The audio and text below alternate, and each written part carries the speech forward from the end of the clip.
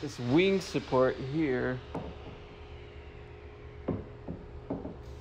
I'm going to add another, cut another piece of plywood and put it in between here so that when I screw through this wall, I'm going through half inch, half inch, and another half inch, so one and a half inch. So the screws have more meat to hold on to.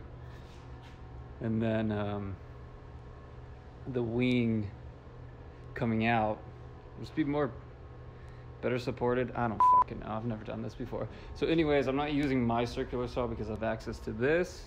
I've marked out all the spacers that will go into these gaps.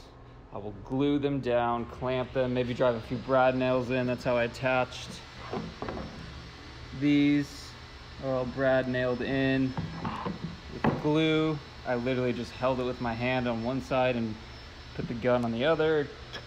Two shots. And yeah. Sorry for that. So like this. And today I got this in. This is a quarter inch too short, so we're gonna make a shim, quarter inch shim up here.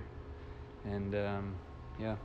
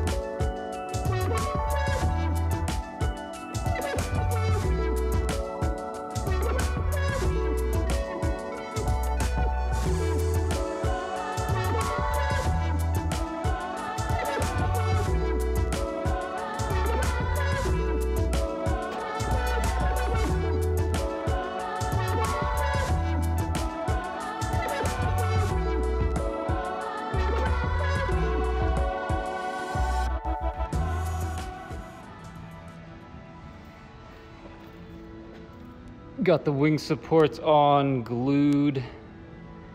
This is the shim that goes between the truck. I popped off the plastic that comes with the Tacoma.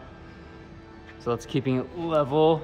I just screwed, or tomorrow, I'm gonna screw up into this so that you don't see the screw heads.